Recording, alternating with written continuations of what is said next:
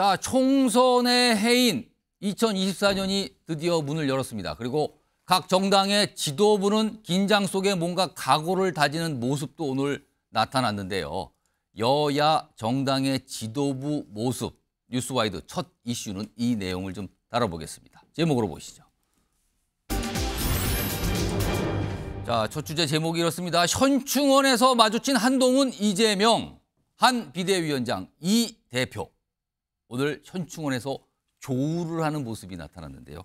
우선 음, 여야 당 대표들 그리고 비대위원장이 각각 뭔가 올해는 우리는 이런 모습 보여드리겠습니다. 그리고 이런 각오입니다라고 얘기를 꺼냈거든요. 이를테면 신년사의 모습이라고 할 수 있는데 보겠습니다. 네, 김경률 위원님이십니다. 우리 국민의힘은 국민 모두에게 그 동료 의식을 실천하는 당으로 거듭나겠습니다. 100일 남은 국민의 선택을 앞두고 동료 시민에 대한 그런 계산 없는 선의를 정교한 정책으로 준비해서 실천할 겁니다. 이제 드디어 국민의힘이 한 번도 가보지 않은 길을 가려고 하는구나 라는 생각이 듭니다. 건배 구호는 한동훈으로 하겠습니다. 한동훈! 국민 여러분, 2024년 갑진년 새해가 밝았습니다. 새해 복 많이 받으시길 바랍니다. 모든 권력은 오로지 국민을 향해 있어야만 합니다. 예, 청룡의 해, 예, 이 청룡의 힘으로 우리 평화의 위기, 민생의 위기, 민주주의의 위기 다 털어내고 새로운 희망으로 더 나은 미래를 향해서 함께 힘있게 나아가기를 기대합니다. 자, 각 정당별로 신년회 하는 모습이었죠. 중앙 당사에서 신년회 하는 모습으로 각각 각오를 밝혔는데요. 그리고 동시에 오늘 국립 서울 현충원, 현충원을 각각 찾았는데요. 만나는 모습이 나타났습니다. 동선이 겹친 거죠, 거기에서는요. 확인해 보겠습니다.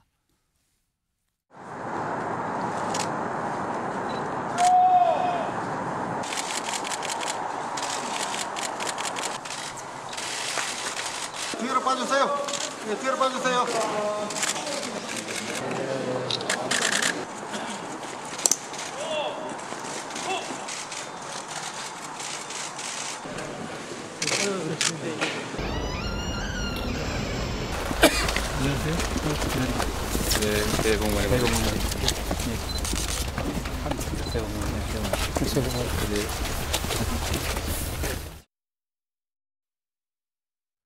한동훈 비대위원장과 이재명 대표가 김대중 전 대통령 묘역에서 마주친 겁니다. 그러니까 현충원 안에서 일정을 갖다 보니까 그렇게 조우하는 경우가 생기겠죠. 그러면서 새해 복 많이 받으세요라는 정도의 인사를 하면서 스쳐 지나갔습니다. 자, 그럼요. 오늘 두 정당의 지도부 일정을 좀 비교해 볼까요? 화면으로 정리되어 있습니다. 자, 내용 좀 보시면요. 우선 음, 국립 서울 현충원의 모습이거든요. 한동훈 비대위원장은 일단 전체적으로 참배를 한 다음에 전직 대통령들 이승만, 박정희, 김영삼, 김대중 전 대통령들 묘역을 참배했고요. 이재명 대표는 조금 달라요. 김대중 전 대통령 묘역 여기 한 곳만 좀 참배한 모습이 있었고요. 그리고 앞서서 신년 연설을 했죠. 그 내용을 좀 비교한 것도 있습니다. 여기 보면 한동훈 비대위원장은 동료 시민과 공동체 지키고 미래 준비해 나갈 것. 동료 시민이라는 표현을 오늘도 썼네요. 요즘에 굉장히 자주 자주 쓰는 표현인데요. 자 반면에 이제 이재명 대표는 민주당 단단한 하나가 될 것. 뭔가 통합을 강조하는 표현을 썼습니다. 그러면서 총선에서 반드시 승리하겠다라는 각오를 또 다졌습니다. 자 오늘 여야 현역 국회의원 두 분 나와 계신데 우선 이해식 더불어민주당 의원 나와 계신데요. 네. 어, 한동훈 비대위원장은 사실은 네 분의 전직 대통령 묘역을 다 참배했는데 반면에 이재명 대표는 김대중 전 대통령 묘역만 다녀가셨는데 글쎄요 이거는 좀 어떤 의미라고 봐야 될까요? 어, 한동훈 비대위원장은 비대위원장 취임 이후에 처음 이제 정을 조화루를 맞았기 때문에 예. 역대 대통령 요소를 다 참배하는 게 맞았을 거고요. 오. 이재명 대표는 뭐 그런 건 아니니까. 예. 그리고 민주당 대표는 사실 양 그 봉화마을 김해로 내려가서 예. 노무현 전 대통령 묘역을 참배해야 되기 때문에 음. 시간상으로도 조금 그 벅찹니다. 어. 예, 그래서 어, 취임 그 첫 해가 아니면 예. 어, 그냥 어, 김해로 내려가서 오. 봉하마을 참배를 하고 그리고 또 문재인 대통령께서 이제 양산에 계시잖아요 평산마을에 예. 그래서 문재인 대통령도 만나야 되기 때문에 음. 예, 바로 이제 김해로 내려갔고 아, 일정상 약간 네, 그렇습니다. 문- 그 시간을 좀 줄일 필요가 있었다. 네, 네, 네. 그리고 평산 마을도 사실은 당일로 만나 뵙고 올라오는 걸로 사실 계획을 했었는데 예. 에, 문재인 전 대통령하고 일정 협의가 잘 안 됐고 아. 어, 그래서 그 다음 날 예, 가덕도 내일 또 방문을 하겠습니다만 예, 예. 가덕도 신공항 부지를 둘러보기로 어, 음. 결정을 했고요. 음. 그리고 가덕도 신공항 부지를 둘러보는 것은 어, 우리가 엑스포 유치에 실패하지 않았습니까? 예. 그래서 부산 시민들이 어, 엑스포 유치에 실패하고 난 이후에 가덕도 신공항 예정대로 추진되는 거냐 음. 아, 이런 의문을 갖고 계시기 때문에 예. 야당 대표로서 어, 예정대로 건설된다라고 음. 하는 어떤 메시지를 주기 위한 예. 그런 일정이다 이렇게 설명드릴 수 있습니다. 혹시 그러니까 일정상 그런 상황이 됐다라고 설명을 해 주셨는데 네. 혹시 이전 이 서울 현충원을 방문하면서 다른 전직 대통령이 아닌 김대중 전 대통령 묘역만 참배한 게 혹시 지지층 특히 호남 분들에게 힘을 좀 주세요 결집해 주세요 약간 이런 의도는 없습니까? 아, 뭐 그렇게 해석을 하면 예. 해석할 수도 있겠습니다만은 어, 꼭 그런 건 아닐 거라고 봅니다. 아 알겠습니다. 자 앞서서 오늘 신년사 중에서 핵심 내용을 정리한 게 있잖아요. 그거 하나 좀 다시 한번 불러와서 보겠습니다. 예, 요겁니다. 최영두 국민의힘 의원 나와 계신데요. 특히 한동훈 비대위원장은 동료 시민이라는 표현을 오늘도 썼고요. 자주 써요, 최근에. 근데 이 동료 시민이라는 표현을 강조하는 이유는 어디에 있습니까? 한동훈 위원장이 취임 이전부터 어, 법무부 장관 때부터 바로 이야기했던 대목입니다.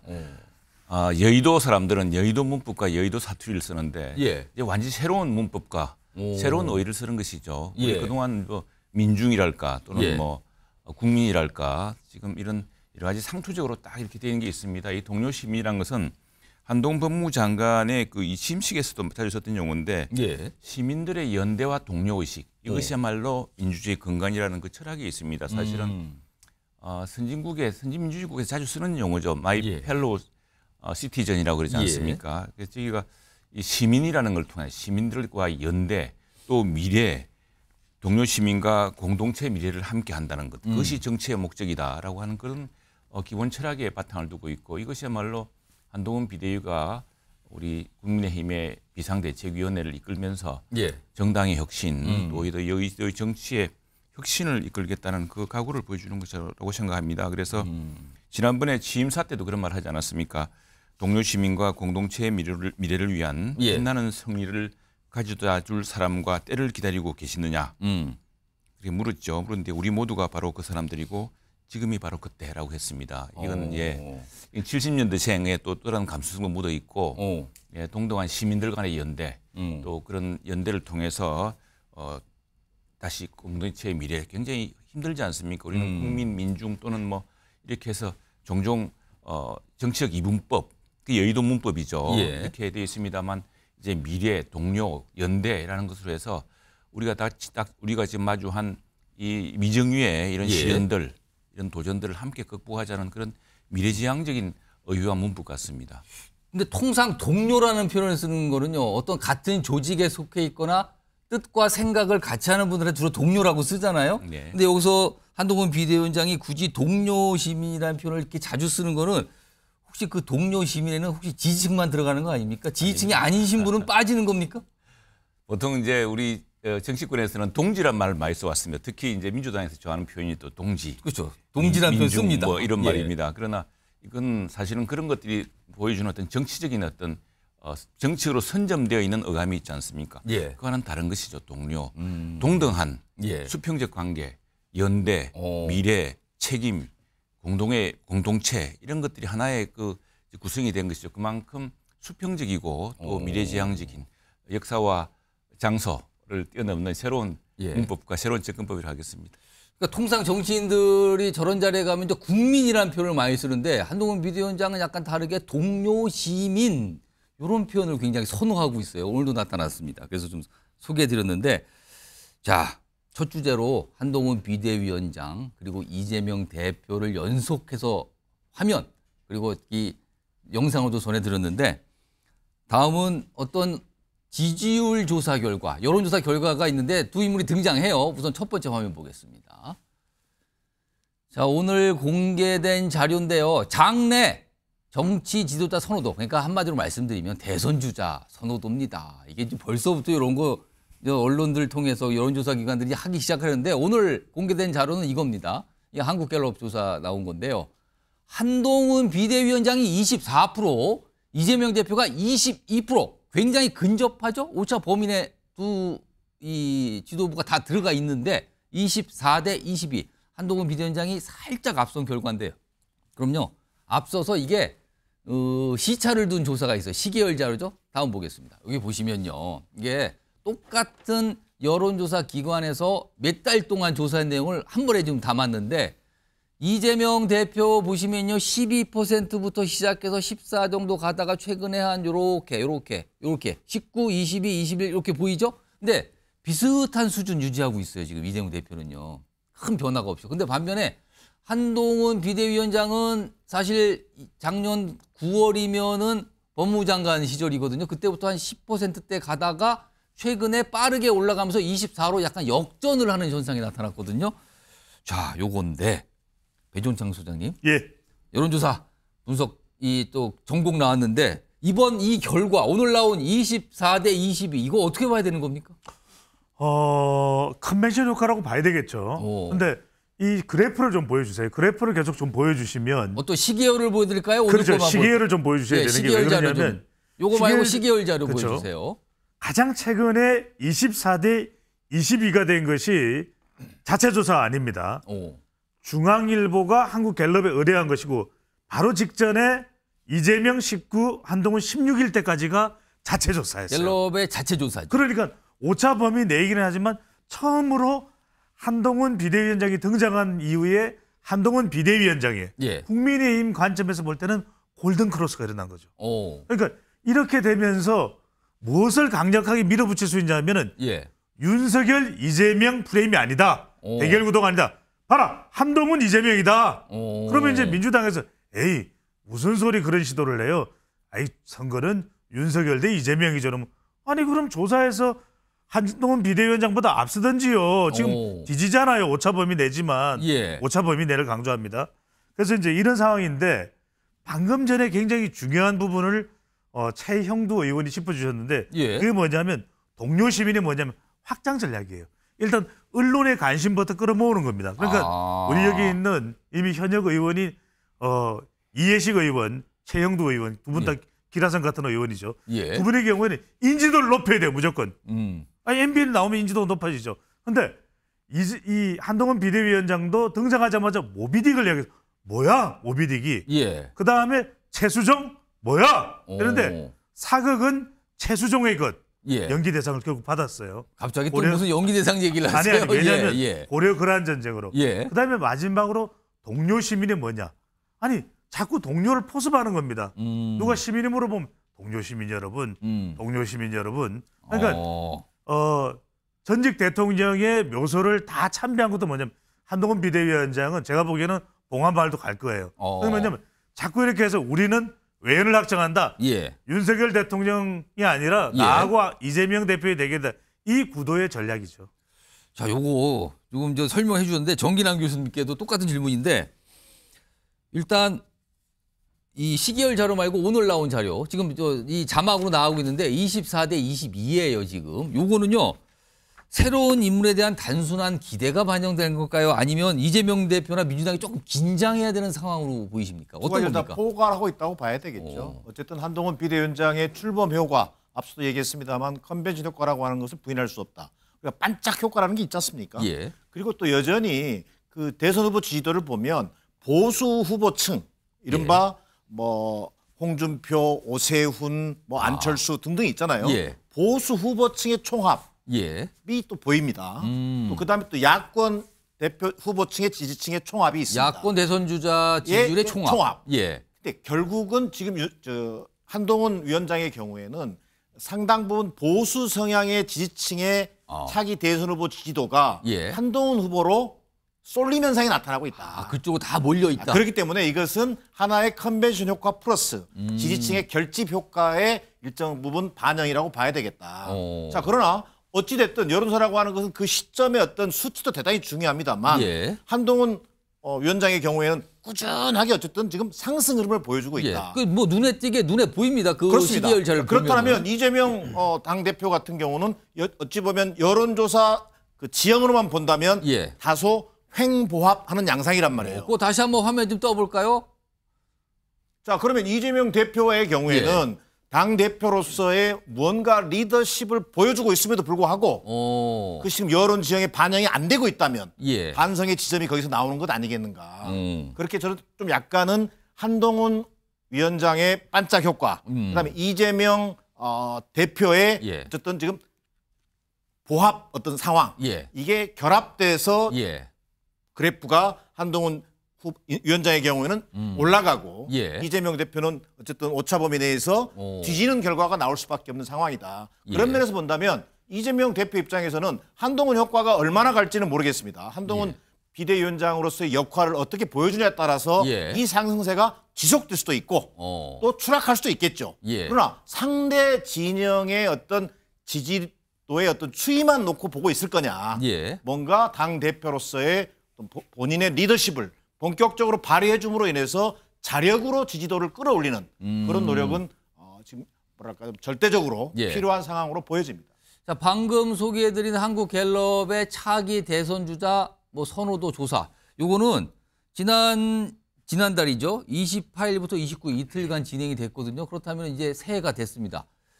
이 새해 1월 초에도 어떤 모습들을 보고 또 조사가 굉장히 많이 이루어질 거예요. 그럼 1월 초나 중순쯤에도 비슷한 어떤 조사가 있을 텐데 자 그때는 과연 어떤 모습일까 이것도 또 궁금해지는 대목입니다. 일단 저런 모습이 나타났는데 자 그러면 다음 준비된 이 화면이 하나 있는데요. 한동훈 비대위원장과 이재명 대표의 오늘 새해 1월 1일 그리고 내일 1월 2일 이틀간의 어떤 일정을 좀 비교했습니다. 화면 보겠습니다. 우선 한동훈 비대위원장 오늘 서울 국립현충원 참배 아까 영상으로 확인 드렸죠? 이겁니다. 그리고요 내일입니다. 내일은 대전 현충원을 갑니다. 그리고 대전에서 그리고 이어서 대구에서 신년 인사회를 갔습니다. 충청권 그다음에 TK 지역을 가는 거예요. 특히 대구를 갑니다. 자, 그다음에 이재명 대표는요 오늘 일정이 역시 현충원 참배 있었죠. 그리고요 오후에 봉화마을로 갑니다. 노무현 전 대통령 묘역 참배. 지금쯤 아마 이루어졌겠죠. 지금 올라가 내려갔으니까요. 그리고 내일 부산과 양산을 각각 방문해서 가덕도 신공항 부지를 찾고요. 그리고 이어서 문재인 전 대통령 예방 예정입니다. 오, 약간 결이 다른 새해 첫날 일정들이 지금 나타나고 있어요. 요거 요건요. 정혁진 변호사. 네네. 한동훈 비대위원장이 좀 좁혀 보면 내일이 사실 2일이니까 본격적인 이제 업무가 시작된다 이란 말이에요. 근데 그날 대전을 들렸다 대구로 갑니다. 네네. 대구예요, 대구. 국민의힘에게 대구는 그냥 단순한 곳이 아니거든요. 근데 한동훈 장관이 장관 시절 지난 11월에 대구를 가서 대단한 환대를 받았거든요. 네네. 내일 또 대구를 갑니다. 왜 대구입니까? 사실 첫 일정을 대구로 간 셈인데. 일단은 현충원부터 갔다고 봐야죠. 아, 그러니까 현충원부터. 오늘 서울 현충원, 그 다음에 내일도 현충원을 가는 거 대전 아니겠습니까? 현충원. 대전 현충원. 그러니까 대전 현충원까지 간 김에 대전 시당 방문한 건 자연스러워 보이고. 그건 자연스러워 보여요. 그럼 여기서 그 경부선을 탈 거냐, 호남선을 탈 거냐. 아. 선택할 여지가 있는 거잖아요. 예를 들어서 대구를 갈 수도 있지만 광주를 가서 거기도 묘역이 있단 말이에요. 그렇죠. 오. 그런데 한동훈 장관의 그 다음 일정을 보면 예. 내일은 2일인데 3일에는 대통령 일정이 있으니까 신, 아 신년회 신년회가 있죠, 네. 그렇죠. 그러니까 이제 그렇다고 치고 4일에 어딜 가냐면 예. 4일에 광주를 가요. 4일에 잡혀 있군요. 네네. 그러니까 광주를 먼저 갈까 대전을 먼저 갈까 저 같아도 예. 대구를 먼저 가지 않겠습니까? 그게 왜 그럽니까? 한동훈 비대위원장이 법무부 장관이었을 때 대구 갔을 때 환대 많이 받았잖아요. 예. 그런데 장관일 때 가는 거 하고 정치인 비대위원장일 때 가는 거는 좀 입장이 다른 거 아니겠습니까? 오. 어찌됐든지 간에 광주는 제 생각에는 길을 좀 뺏기는 그런 그 장소이고 아, 길을 뺏겨요? 대구는 아니 여당 입장에서는 길을 받는 장소잖아요. 아 대구에 가면 길을 받지만 광주 그러니까 호남 지역을 방문하면 아무래도 뭐 신경도 많이 쓰고 긴장하게 긴장한다. 되고 어. 그다음에 아무래도 그렇게 대구보다는 조금 적대적일 수도 있고 오. 그렇게 환대가 있을 거라고 기대를 못 할 테니까 예. 그러니까 어찌 됐든지 간에 아무리 한동훈 비대위원장이 뭐 나름대로 뛰어난 면이 있다고 하더라도 그래도 이제 정치 막 시작하는 그런 입장에서는 오. 대구에 가서 정치적 지지 호응을 갖다가 충분히 받아가지고 길을 듬뿍 받은 상태에서 그런 다음에 3일에 대통령도 만나고 4일에 이제 광주 가서 광주 이제 민주묘지도 참배하고 저 같아도 그렇게 하겠다는 생각이 듭니다. 설명이 그럴 듯해 보이기도 아니, 하는데 저 최영두 예, 의원 지금 예. 아, 예. 최영신 변호사 말씀의 핵심은 일단 새해 첫날부터도 기준 받자 대구부터 간다 이거예요. 아 약간 다릅니다. 공식적으로는 그렇지 않습니다. 왜 그러냐면은 이게 제가 경남도당 위원장에서 합니다. 예. 어, 우리 당 사무처에서 이제 도당 위원장 신년회를 다 전국 시도를 합니다. 예. 저희 경남은 10일로 잡혔는데 아마 부산이나 울산도 그 인근일 겁니다. 예. 왜냐하면 이걸 잡을 때 중앙당 사무처랑 도당 사무처가 당 대표 참석을 전제로 일정을 잡습니다. 그렇겠죠. 예, 그건 이 잡을 때는 비대위원장으로 선출되기 전이었습니다. 또 음. 비대위원장이냐 당시에 선대위원장이냐 이런 언제 등판하느냐 이런 예. 시기를도 당내 논란이 있기 거짓부터였습니다. 그러면은 그 말씀은 김기현 대표 체제 때 잡힌 일정이란 거네요. 아니 그 김기현 대표 그 전에 물러나셨고 예. 어쨌든 신년에 우리 이- 저 중앙당에서 전국 시도당과 함께 어, 도당 시당 예, 예. 신년 인사회를 하거든요. 예. 인사를 하는데 저희도 이제 중앙당과 이렇게 조율을 하다 보니까 된 것이고 대전 대구는 이제 처음에 잡힌 것이겠죠. 무슨 자기 또 대전은 어 신년에 오고 나면은 바로 대전 현충원이 있기 때문에 예, 그럴 수 예. 있을 테고 또 대전 대구는 동선상 또 가깝습니다. 오. 예. 그리고 그렇기 때문에 이거는 한동훈 비대위원장을 대구로 가는 이건 그 대구를 일부러 어, 이일날 택했다기보다는 예. 우리 저 국민의힘 중앙당과 전국 예. 시도 시다 시도당의 사무처가 각 시도별 신년 인사를 전하면서 동선과 이런 아. 일정들을 고려해서 나온 어이, 것인데 똑같이 오늘도 도, 이, 저 이해식 의원도 아까 동선 얘기하셨는데 여기도 동선 때문에 잡힌 일정이다. 왜냐하면 오전 오후를 해야 되기 오. 때문에 예 그리고 신년이라는 게 이게 15개 18개 시도당입니다. 그런데 예, 예. 이걸 다 하려면 만일 하루씩 가면은 일, 저 1월이 다 갑니다. 예. 그런데 경남도 빨리 1월 10일까지 해야 안 되겠습니까? 그럼 보통 두세 개씩 근데 하죠. 여기서 궁금한 점이 지금 예. 내일 대전 현충원을 방문하잖아요. 그리고 대전을 방문해요. 대전 예. 시당에서 뭔가 행사가 있으니까요. 그러면은 그 대전 시당 신년회입니다. 예, 그러면 예를 들어서 그 인근에. 있는 충남 시당, 충북 시당으로 갈 만한데. KTX 라인이 아, 또 KTX 라인 때문입니까, 이거는? 아, 예 그리고 또 충남은 충남대로 또 새로운 또 주제가 또 있으니까 예. 알겠습니다. 우리 또 충남에 사무총장 나오지 않았습니까? 알겠습니다. 아, 오늘 동선과 일정 KTX 라인 때문에 그렇다는 이런 말씀인데요. 자, 이번에는 최희식 의원님. 이해식입니다. 아, 저 죄송합니다. 아, 지금 막 헷갈려서 제가 죄송합니다. 이해식 의원님. 아, 죄송합니다. 이거 이름 아니, 틀리면 안 되는데. 지금. 다음에는 이형 들어가면 하셔야 되겠습니다. 네, 알겠습니다. 이해식 의원님. 네. 그 두 대표 비, 동선 비교한 건 다시 한번 보여주세요. 이번에는 이재명 대표 보면 오늘 일정은 알겠습니다. 아까 설명을 잠깐 네, 하셨거든요. 네, 그리고 네. 가덕도도 설명을 하셨어요. 네, 네. 근데 내일 양산을 찾습니다. 그리고 문재인 네. 전 대통령 예방을 하는데 아까 일정 조율 때문에 사실은 오늘일 수도 있지만 내일로 미뤄졌다는 건데 네. 오, 새해 첫이 일과가 시작되는 날 내일입니다. 문재인 네. 전 대통령을 찾는 게 글쎄요 이게 정치적으로 그냥 단순해 보이지는 않는데요. 어, 문재인 대통령께서 양산에 내려가 계신 이후로 사실 뭐 당 대표나 그리고 중요한 우리 당직자들은 예. 문재인 전 대통령을 예방하는 거 이제 음. 그것이 하나의 에, 이렇게 정해진 코스처럼 오. 어, 그렇게 돼 있습니다. 그런데 사실은 이제 올해는 더 중요한 의미가 또 있다고 생각이 됩니다. 음. 어, 문재인 그전 대통령께서 지금 민주당의 상황에 대해서 어, 걱정을 많이 하고 계실 것이고 예.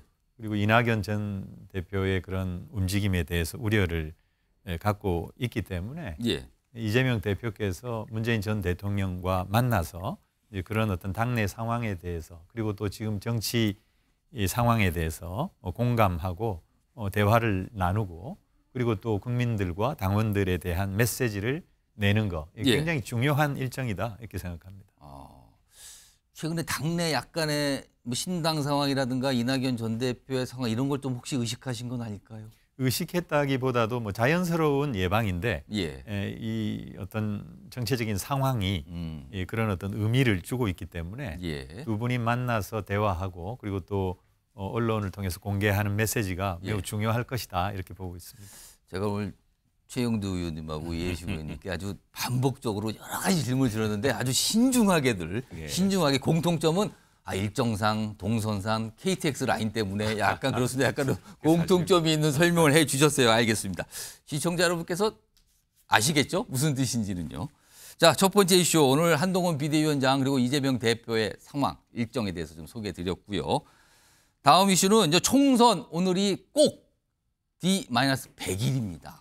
비나 100일 남은 상황인데 이와 관련된 주제로 좀 넘어가 보죠. 제목이 있습니다.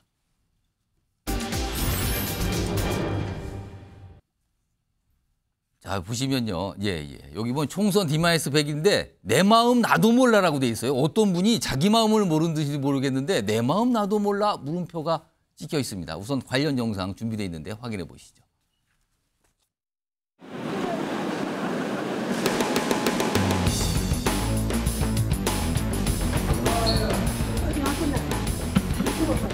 와이프하고 아이만 빼고 다 바꿔야 된다.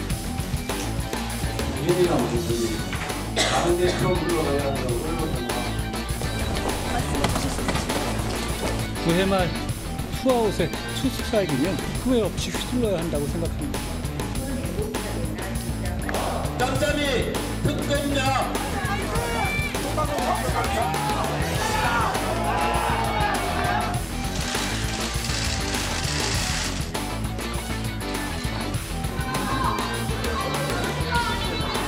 가결되었음을 선포합니다.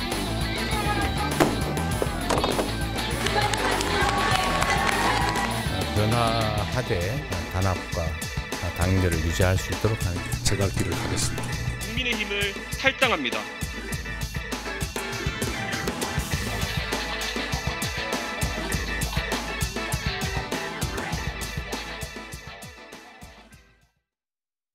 자, 오늘이 새해 첫날이거든요. 언론사들이 미리미리 준비한 게 있는데 바로 여론조사 결과 앞선 주제도 전해드렸는데 오늘도 정당 지지율 이거 빠지지 않고 나온 곳이 있는데 소개해드리죠. 바로 이겁니다. 정당 지지도 국민의힘이 39, 더불어민주당이 34. 물론 이제 오차 범위 내입니다만 약간 국민의힘이 앞선 결과 나왔죠. 그러면은 어, 최근에 여론조사 결과하고 약간 달라진 건가? 약간 국민의힘이 뭔가 조금 앞서 나간 모습이죠. 39대 34가 나왔고요. 뭐 다른 정당들 4% 3% 그리고 없음이 19% 굉장히 높게 나왔어요. 근데 일단 거대 정당은 39대 34로 나왔습니다. 다음 보겠습니다. 그런데요. 이런 여론조사 결과도 있습니다. 오늘 한국갤럽에서 똑같은 여론조사에서 설문이 좀 다른 건데 똑같이 나온 거예요. 이겁니다. 내일이 총선이라면 어느 정당 후보에 투표를 하실까요?라고 물어본 겁니다. 자, 그런데 여기 보면 국민의힘 후보라고 얘기하신 분은 38, 더불어민주당 후보라고 말씀하신 분은 41이에요. 자, 그런데 앞서 여론조사 결과는 국민의힘 39, 민주당이 34인데 여긴 좀 다릅니다. 뭐가 바뀌었어요. 다음 하나 더 보겠습니다. 자, 다른 여론조사 결과인데도 이것도 비슷해요. 내일 총선이라면 어느 정당 후보에게 투표하겠는가? 역시 국민의힘이 조금 뒤집니다. 34. 민주당이 39입니다. 정당 지지율하고 조금 다르죠, 지금요. 음. 자, 배용찬 수장님. 예. 자, 정당 지지율에서는 국민의힘이 물론 오차 범위 내지만 소폭 앞서고 있었어요. 근데 내일 총선이라면 어느 정당 후보를 뽑겠느냐는 민주당이 소폭 앞섭니다. 이건 어떻게 봐야 됩니까? 어, 총선 구도의 역량이라고 봐야 되겠죠. 왜냐하면은 당을 물어본 것 이전에 우리가 어, 선거라는 것은 결국 구도가 중요합니다. 정부를 지원하겠느냐, 정부를 견제하겠느냐. 그러니까 당을 물어볼 때하고 총선에서 내일이 총선일이라면 어느 정당에 투표하겠냐. 이럴 때는 대통령 지지율이 또 중요한 기준이 되는 겁니다. 그러니까 이른바 우리가 어, 정부 지원론이냐, 정부 견제론이냐. 대통령의 부정평가가 지금 매우 높지 않습니까? 50%대 60% 가까이. 이러다 보니까 이 영향이 선거라는 용어가 들어가면 작동돼 버린다. 왜?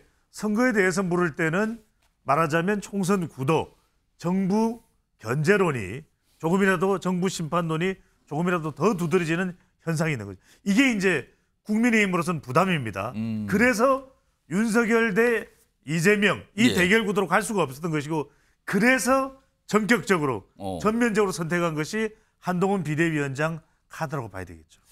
최영두 의원님, 네. 좀 최영두 의원님 좀 설명을 하시겠다고 좀 표시해 주셨는데, 그러니까 다시 말씀드리면 시청자 다시 시청자 여러분께 다시 말씀드리면 이겁니다.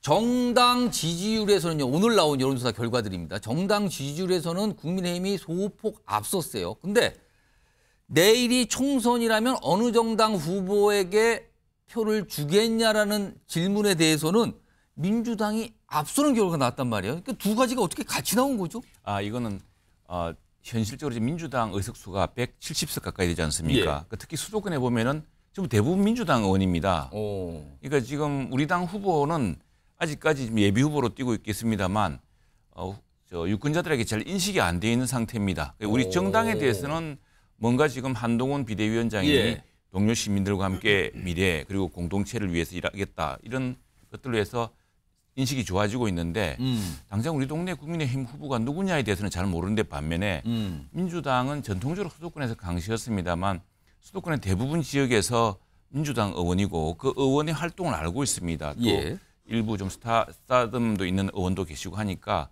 그래서 그래서 더더욱 이제 우리 당에서 수도권과 이런 오. 새로운 공천이 중요해지죠. 그래서 민주당 의원들의 개인적인 활동이나 인지도가 예, 영향을 줘- 줬다라고 보시는 그렇습니다. 겁니까? 실제로 이런 어, 조사 어, 결과에 대해서 평론가들도 그렇게 이야기하는 걸 분석을 하는 걸 보았습니다. 음. 그럴 수밖에 없죠. 당장 종로 중구 그러면은 여기 여기 있는 중구 같으면 현재 민주당 의원이지 않습니까? 예. 그 부분은 알죠. 의정 보고도 하고 그래서 그런데도 이제 보면은 그 지지율이 압도적이지 않지만 음. 우리 당 후보는 지금 그전에는 또 여기도 우리 당 전직 의원이 계십니다. 예. 계시지만 중구는 좀 약간 예외적인데 다른 수, 왜냐하면 중구는 왔다 갔다 했기 때문에 우리 당 후보가 된 적, 우리 당이 된 적도 음. 예, 예. 그렇지만 대부분의 수도권 특히 경기도라든가 이런 지역에 가면은 음. 아직까지 우리 당 후보가 우리 당 국회의원을 배출한 적이 없는 예. 지역이 많습니다. 그래서 그렇기 때문에 이 공천에서 수도권에 이번에 비대위원 구성해서 보았듯이 보다 참신한 인물로 이제 공천에서 그 인물이 등장할 경우에 음. 어, 그런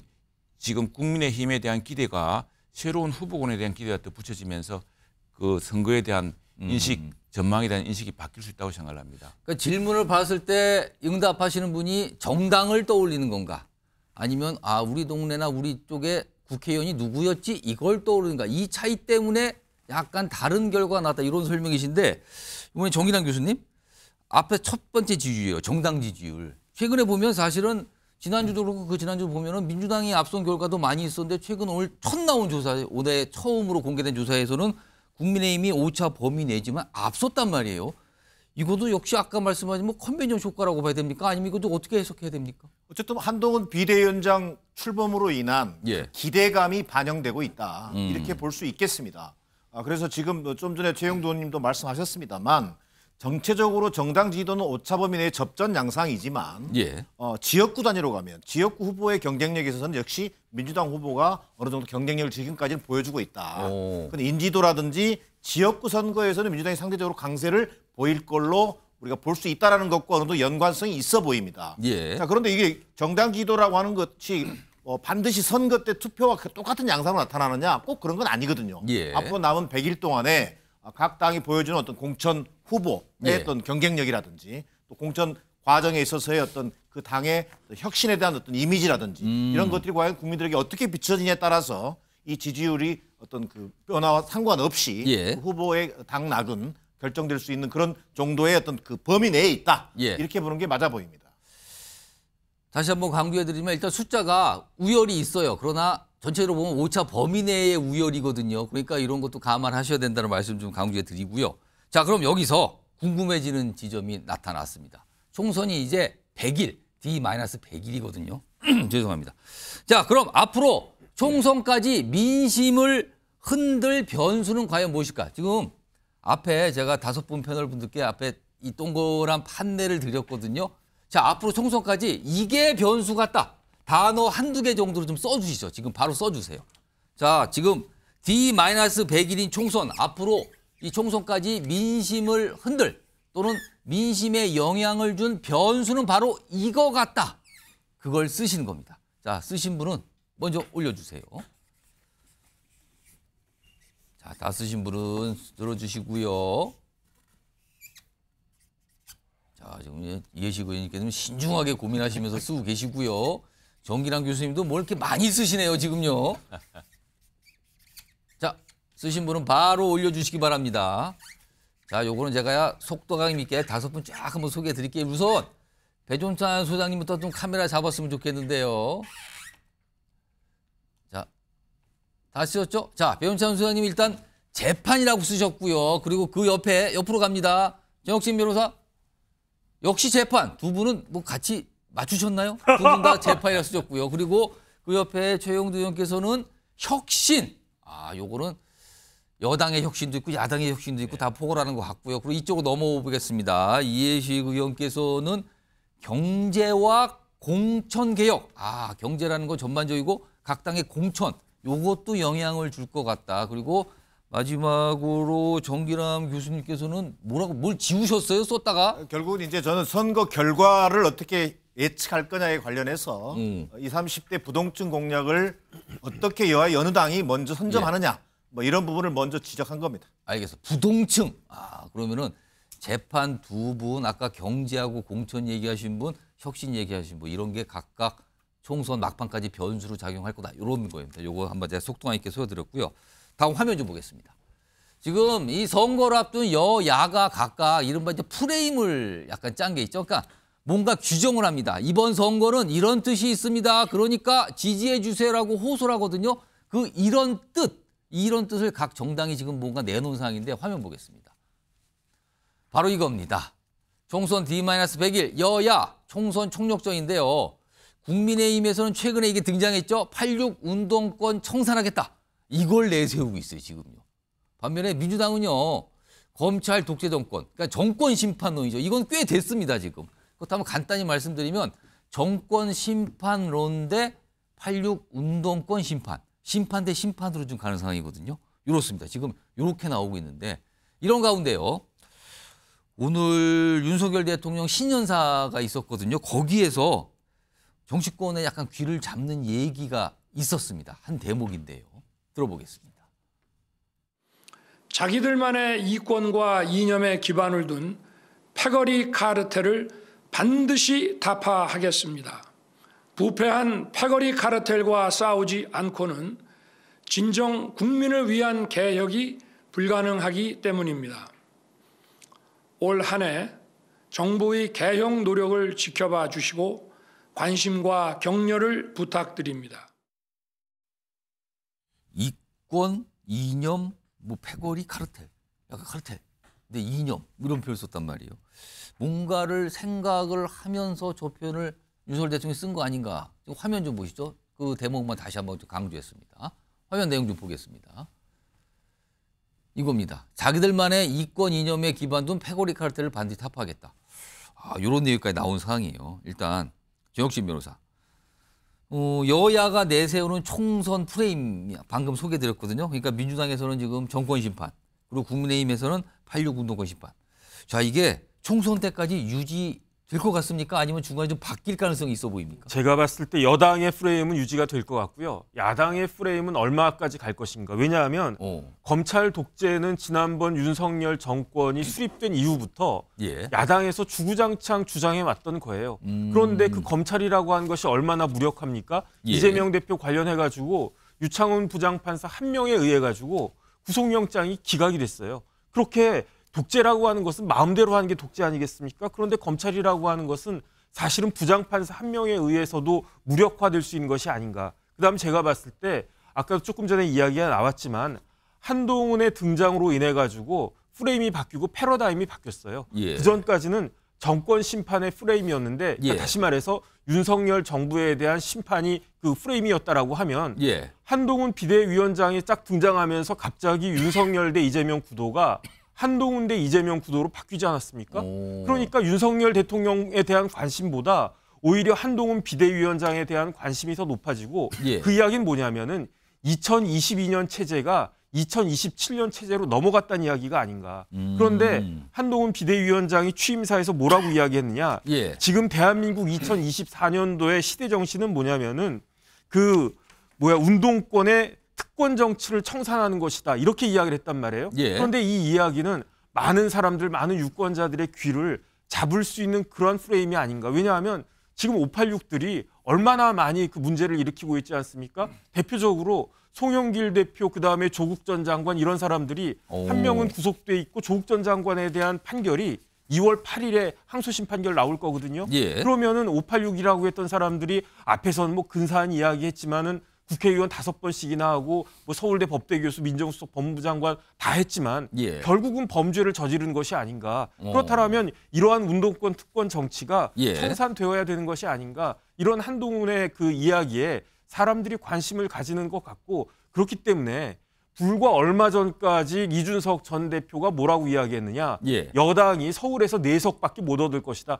여섯 석도 못 얻을 것이다. 음. 그다음에 심지어 백석도 못 얻을 것이다. 내가 비대위원장 정도 돼야 한 120석 가질 것이다. 예. 이렇게 이야기하지 않았습니까? 그런데 당장 지금 드러난 여론조사는 거의 여야가 비슷한 수준으로 총선이 가고 있는 거 아닌가. 어. 그다음에 오히려 다음번에 조사하면은 여당이 야당을 압도할 수도 있지 않을까 저는 그런 생각이 드는 게 음. 이게 그 한동훈의 그, 그 뭐야 그 컨벤션 효과도 될 수 있겠지만 예. 시대 정신이라고 하는 어쨌든지 간에 하나의 화두가 미치는 영향도 작은 것은 아니다. 저는 그렇게 판단이 됩니다. 저 이해식 의원님, 그러니까 네. 여야에서 각각 내건 프레임이라고 할 수 있어요. 정권 심판론 그리고 86 운동권 심판론이 지금 격돌하는 것처럼 언론에서 네. 해석하고 있는데 이런 프레임이 총선 때까지 유지될 걸로 보십니까? 검찰 독재 프레임이라고 하는 것은 결국 윤석열 정권 심판론이기 때문에 예. 그것은 어, 뭐 지금부터 선거 끝까지 관통하는 오. 예, 계속될 이슈다고 봐야 되는 것이고요. 86 운동권 프레임이라고 하는 것은 한동훈 장관이 이렇게 부각을 시켰는데 예. 다소 좀 생뚱맞다. 오. 지금 민주당이 사실은 86 운동권의 어떤 주류라 그럴까 그런 예. 분들이 지금 퇴장을 하고 있는 상황인데 아. 뭐 우상호 의원이라든가 또는 송영길 뭐 대표도 마찬가지지만 어, 그런 상황에서 86 운동권 프레임 뭐 청산 프레임을 내세우는 것은 사실 어떤 면에서는 좀 솔직하지 못한 것이죠. 어, 정확하게 얘기해야죠.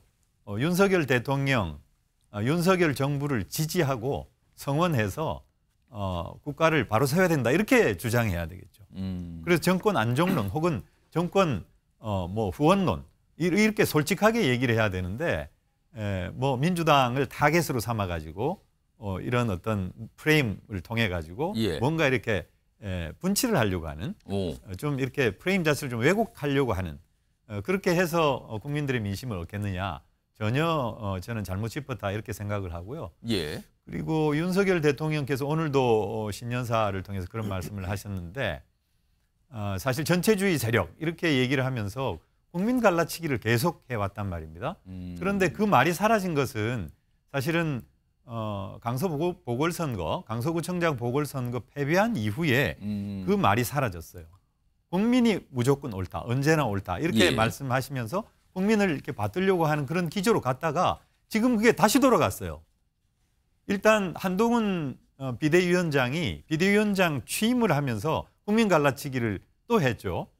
개딸 전체주의. 음. 개딸이라고 하는 것은 민주당의 당원들을 상징하는 것인데 예. 민주당 당원들이 거의 권리당원만 그러니까 돈을 내는 권리당원만 거의 200만 가까이 됩니다. 음. 그런데 그 권리당원들에 대해서 개딸 전체주의라고 이렇게 못을 박는다든지 예. 그리고 운동권 특권 세력 민주당 국회의원들의 170석 전체를 운동권 전체주의 세력으로 낙인을 찍는 거 이게 과연 온당한 일인가? 음. 그리고 오늘 우리 윤석열 대통령께서 또 패거리 이 카르텔 이런 예. 말씀을 통해 가지고 이렇게 국민 갈라치기 하고 야당이나 지지하지 않는 사람들에 대해서 이렇게 적대화하는 음. 이런 프레임으로는 선거에 질 수밖에 없다 저는 그렇게 생각합니다. 그래서 어 일단 대통령은 통합적으로 나가야 되고 모든 국민들 모든 국민들의 다양한 의견을 잘 받들겠다라고 하는 그런 태도를 보여주시고 예. 그리고 지금까지 잘못한 것에 대해서 성찰하고 반성해서 우리 앞으로는 잘하겠다 음. 이런 어떤 메시지를 통해서 예. 여당의 어떤 안정성 이런 것을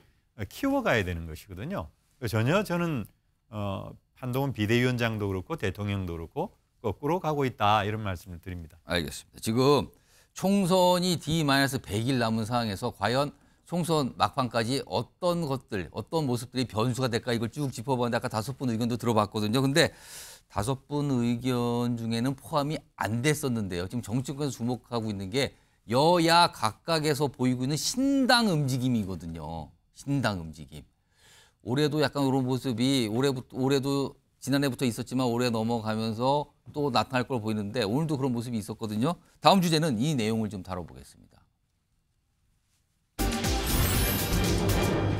자, 여당 신당보다 야당 신당의 기대하고 물음표가 찍혀 있어요. 이게 무슨 뜻일까요? 지금 여야 각각 신당 움직임이 있는데 기대를 어느 쪽에 더 받고 있는가 이런 뜻일까요?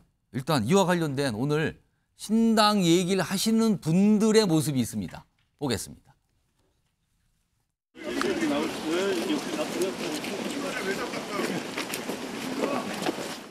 사랑해요 이낙연 사랑해요 이낙연 우리는 믿습니다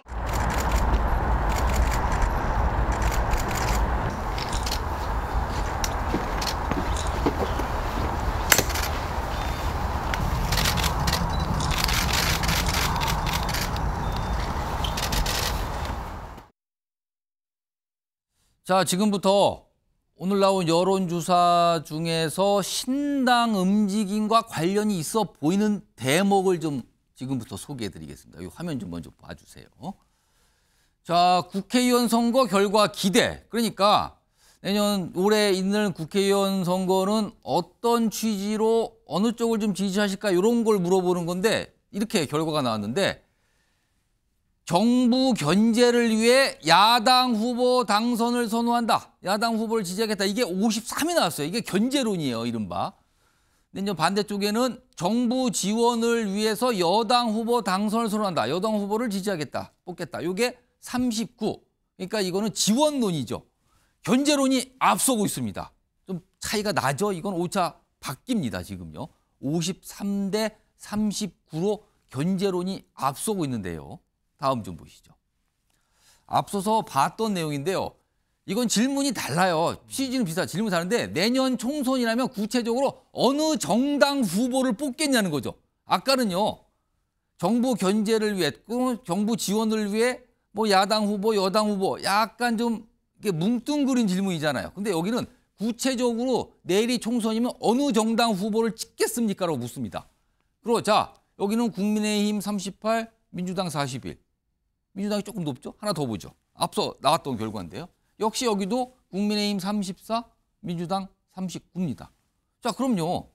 여기서 보실 거는요. 민주당 숫자입니다. 여기 민주당 숫자가 39가 나왔잖아요. 앞에 거 두 번째 내용 다시 한번 볼까요? 자, 두 번째 내용 보면요. 거기도 민주당께 나왔거든요. 여기 보면 민주당 41이 나왔죠? 자, 맨 처음에 봤던 거 다시 한번 보겠습니다. 여기 보면 정부 견제론, 그러니까 야당 후보 당선을 선호한다는 의원은 53입니다. 자, 그럼요. 배원찬 소장님. 예. 정부 견제론은 53인데 내일 당장 총선이라면 민주당 후보를 찍겠다는 게 아까 41, 39가 나왔어요. 차이가 납니다. 이거하고는. 이 격차는 어떻게 봐야 됩니까? 이 결과가 중요합니다. 어. 이 결과가 사실은 이번 총선의 모든 것을 이야기하는데 이재명 대표의 고민, 예. 민주연구원의 고민, 예. 이해식 의원의 고민이 깊어지는 게 이 조사 결과입니다. 어. 그러니까 아니 이 같은 조사에서 여당 후보 당선 39%는 같은 조사입니다. 예. 국민의힘 지지율과 똑같습니다. 예. 국민의힘 지지율, 정부 지원론 똑같이 나왔습니다. 그런데 같은 조사에서 민주당 지지율은 34%. 그런데 정부 견제는 53%. 예. 19% 포인트가 차이 납니다. 이거 뭡니까? 그러니까요. 이게 이른바 채증 현상이에요. 오. 그러니까 아니 야당 밀어줄게 이게 53%인데 민주당 지지율은 34%밖에 안 그것만큼 못 가고 같은 조사에서. 말이에요. 예. 그러면 20%약 10, 약 19%, 아 19%약 20%는 어디로 간 거야? 예. 중도가 안 들어오고 무당이 안 들어오고 수도권이 안 들어오고 2030 MZ 세대가 안 들어온 거예요. 음. 이게 이른바 이재명 대표를 향하고 있는 채증 현상. 오. 이재명 대표 때문에 우리는 이번 총선에서는 야당 밀어줄 생각하고 있는데 정당 더불어민주당은 이재명 대표 리스크로 못 밀어주겠어. 이게 일종의 우리가 어. 선거공학적으로는 어떻게 보냐면 자이가르닉 이펙트입니다. 자이가르닉이라는 게 잠깐만요. 뭐, 뭐 다시 한번 표현해 주세요. 자이가르닉 무슨 뜻입니까? 그러니까 어떤 미완성된 거나 미흡한 부분을 계속 염두에 두는 거죠. 그래서 이것 때문에 민주당을 지지하려고 했는데 아 잠깐만. 이낙연 전 대표하고 갈등이 있잖아. 친명 비명 간의 갈등이 있잖아. 뭔가 이재명 대표 재판은 어떻게 할까? 그래서 제가 아까 들었던 이 재판인 겁니다. 그래서 이 약 20여 퍼센트 포인트가 안 들어와요. 그러면 이게 실제 총선에서 구도는 좋은데 예. 전반적인 환경은 좋은데 예. 이재명 대표 때문에 투표를 안 하는 현상이 생기게 되거든요.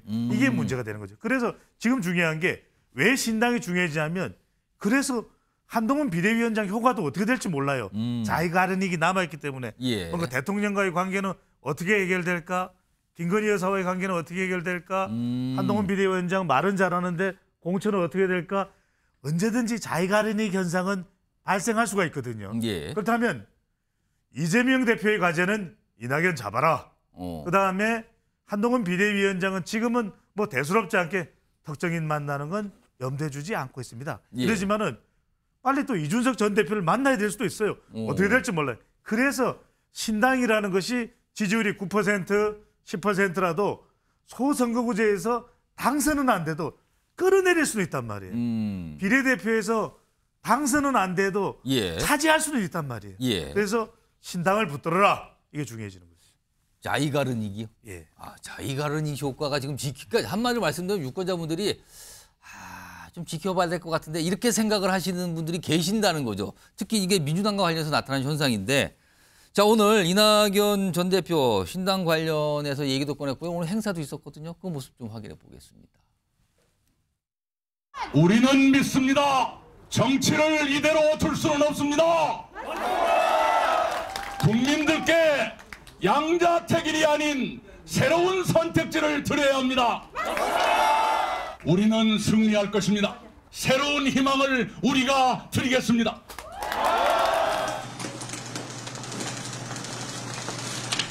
그 변화의 의지를 이재명 대표로부터 확인하고 싶었으나 안타깝게도 확인할 수 없었습니다. 좀 더 가치 있는 일을 위해서 제갈 길을 가겠습니다.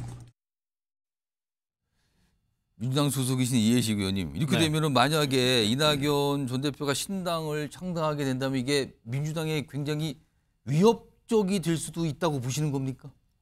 민주당에 좋지 않은 결과가 아, 될 수가 있겠죠. 어, 그렇지만은 어, 사실 이제 그걸 좀 말씀드리기 전에 예, 에, 이준석 신당과 이낙연 신당은 예. 근본적으로 다르다. 아, 결이 생각합니다. 다르다. 오. 아, 왜냐하면은 이준석 대표는 사실 당 대표로서 대선과 지방선거를 승리를 이끌었고 예. 그런 상황에서 대통령과 이 관계가 좋지 않아 가지고 어떤 어떤 면에서는 사실상 출당을 당한 거나 어. 다름없거든요. 계속 예. 핍박을 받고 출당은 출당을 당했다면 예. 이낙연 전 대표 같은 경우는 어, 사실 그 대선 패배 공동 책임을 져야 될 분인데 오. 예, 뭐 핍박을 받은 것도 아니고요. 예. 그런 면에서 보면 어, 뭐 본인의 어떤 살 길이라 그럴까요? 음. 그걸 찾아서 어, 탈당한 것이다. 그런 면에서 근본적으로 다른 거죠. 그래서 조금 뭐 민주당의 대다수 당원들이나 지지자들이 아쉬워하는 게 이제 그 대목이고요. 예. 어, 그리고 어, 우리 이낙연 전 대표께서 새로운 선택지를 드리는 것이다. 예. 국민들한테 새로운 선택지를 드리는 것이다. 이렇게 말씀을 하셨는데 지금 시대 정신이 뭡니까? 음. 윤석열 정권 심판 아닙니까? 오. 야당의 한 일원으로서 예. 본인을 위치 지우신다면 윤석열 정권을 어떻게 하면 심판할까에 대해서 얘기해야 하고 그와 관련된 선택지를 드리는 게 맞지 않습니까? 음. 그리고 국민 평균 평균만큼의 도덕성, 예. 뭐 국민 평균만큼의 깨끗한 정치 그걸 자꾸 강조를 하시는데 그거야말로 정말 에, 이 국민의힘 그리고 예. 윤석열 정권이 정적 제거 그리고 야당 탄압을 위- 위해서 계속적으로 프레임화했던 예. 이재명 어 뭐 악마화, 이재명 죽이기 그런 프레임으로 나올 수 있는 그런 말 아니겠습니까? 음. 그렇게 보면 어 이재명 대표한테 무조건 나가라. 당 대표 그만둬라. 예. 이렇게 에, 압박하면서 그걸 받아들이지 않는다고 해서 음. 그렇게 이런 이런 말씀을 하시는 게 과연 민주당 당원들한테 지지자들한테 어. 떻게 받아들여질지 예. 그걸 한번 생각을 해봐야 하고 또 그런 어떤 전반적인 차원에서 보면 어, 이낙연 신당이 만들어진다 해도 음. 어, 우리 국민 지지자 그리고 당원들이 예, 그렇게 예, 뭐 심하게 요동을 치면서 딸려가겠느냐 어. 저는 결코 그렇지 않다 예. 아, 그렇게 생각하고요. 어, 지난 그 어, 국민의당 장당 때 안철수 그리고 그 그때 당시 민주당에 있던 어, 여러 의원들이 나가서 당을 새로 차렸었는데 예. 그때는 호남 유권자들, 호남 어, 국민들이 사실상 어, 여러 가지 분열적인 예. 그런 양상이 더 먼저 일어났었습니다. 어. 근데 지금은 전혀 그렇지가 않거든요. 그러니까 이낙연 전 대표의 신당 움직임에 대해서 약간 이제 비판적 논평을 해주셨는데 두 신당 지금 여야 각각 신당 움직임이 있잖아요. 이걸 좀 비교해 보겠습니다. 화면에 있습니다. 요 내용은요 최영도 의원님하고 정기남 교수님이 좀 잘 봐주세요. 제가 좀 설명을 좀 드릴게요. 여야 신당 움직임 각각 호응은 지금 어떤 상태인가 보는데요. 일단 이낙, 이낙연 전 대표입니다. 최성, 이석현 등 합류. 약간 좀 묵직한 정치인분들이 합류하는 움직임이 있고요. 그리고 지금 이른바 4인방이죠. 비명 4인방. 김종민, 윤영창, 이원욱, 조홍찬.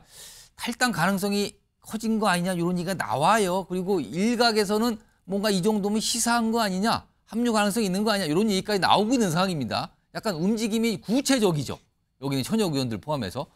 자, 이인석 전 대표의 신당은 지금 천하람, 이기인 등 합류했습니다. 지난주에 기자회견 했죠. 그리고 허은하 의원 이번 주 입장 발표인데 가지 않을까라는 얘기가 나오는데 아직 그 밖에 다른 어떤 좀 뭐랄까요 인지도가 있는 정치인 또는 현역 의원은 아직은 나타나지 않고 있는 상황입니다. 이런 차이점이 있는데 조영두 의원님, 네. 이낙연 신당과 이인석 신당 신당으로서 어느 쪽이 더 성공 가능성이 있을까? 이거 어떻게 판단해야 됩니까? 지금 이낙연 신당의 경우는 사실은 어, 민주당의 위기를 보여주는 거라고 생각합니다. 지금 저는 야당 최근에 야당을 보면서 어, 야당의 당 대표 체제의 종언 시대다 이제 이전에 전당대회를 통해서 돈봉투랑 걸 해가지고 지금 전직 당 대표와 여러 현역 의원들이 지금 수사를 받거나 또는 구속된 상황입니다. 또 이낙연 대표는 이낙연 대표가 탈당한 이유가 바로 개딸 전체주의 때문에 아니겠습니까? 이 개딸 전체주의라는 것이 어, 지금 한동훈 비대위원장도 이야기했습니다만 이게 우리 당에서 만든 이야기가 아닙니다. 이게 민주당 내에서 나온 이야기 아니겠습니까? 한 사람의 사법 리스크를 어, 전통의 민주주의 정당인 민주당이 온통 지난 1년 몇 개월 동안 방어하기 위해서 어, 그 불체포 특권의 문제까지도 제기하고 스스로 예. 포기하겠다는 걸 다시 다시 그걸 방어막으로 삼고 그리고 지금 많은 국회의원들이 뭔가 이대로는 안 된다. 이- 민주당이 이런 적은 없었다. 이것은 이것은 김대중 노무현의 민주당이 아니다라고 이야기하면서도 지금 못 하고 있는 이유는 공천권 때문이거든요. 음. 예. 그런데 이제 여기에 파열음을 냈던 것이 이제 이낙연 신당이고 지금 우리 그 한동훈 비대위원장과 또 대통령께서도 신여서 말씀하셨지만 이 운동권 정치에 대한 문제는 예. 호남에서도 문제가 있다라고 이렇게 반응하고 있어요. 여론조사를 보면은요. 예. 한 절반 이상이 정말 운동권 정치는 청산해야 된다라고 이야기를 합니다.